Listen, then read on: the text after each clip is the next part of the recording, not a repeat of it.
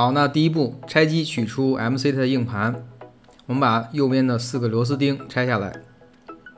那这个过程是非常简单的。好，打开之后取出来，是一个小的盘，它的格式是 MCT 格式的。好，这种硬盘呢可以装入 MCT 硬盘盒。那硬盘盒呢，你可以从淘宝自己搜一下，像这种，呃，这个是我拆之后的一个效果。实际上它是有一个外壳的，你在淘宝和京东都可以买到这种 M C 的硬盘盒。好，那接下来呢，我们第三步插入到电脑上。OK，就这样就可以了。好，那接下来第四步呢，就是下载写盘工具和固件。我们现在先下载这个固件，在这边呢，我已经给大家总结好了。这个是伊瑟尔九月一号编译的一个版本，它原始的出处地址我已经标在这边了，啊，就是这个谷歌网盘的这个地址。当然，如果你很不幸访问不了谷歌网盘的话，你可以访问我这个 GitHub 转存的这个版本，就是在这边。那这边我已经下载好了，就不在这里赘述了。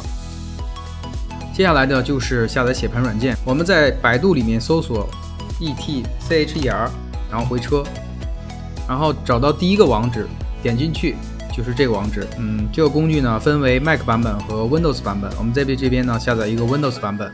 好，这边呢我已经下载好了。那具体来说就是这两个东西，这个是写盘工具，这个是对应的固件。好，那我们打开这个写盘工具。好，那打开之后呢是非常简单的，左侧呢是选择我们的固件。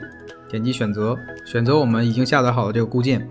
注意这边的结尾呢是 GZ，不用管它。好，那这边呢是选择驱动器。这个 USB 三点零的读卡器就是我这个。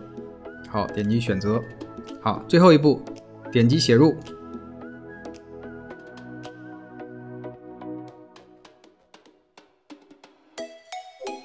OK，那这边呢就已经写完完成了。接下来我们把 MC 的硬盘重新装入到软路由当中，好，拔下来，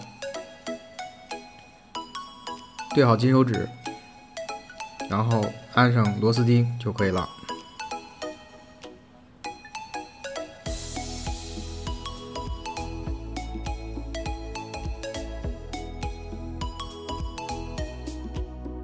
下面我们进行通电测试。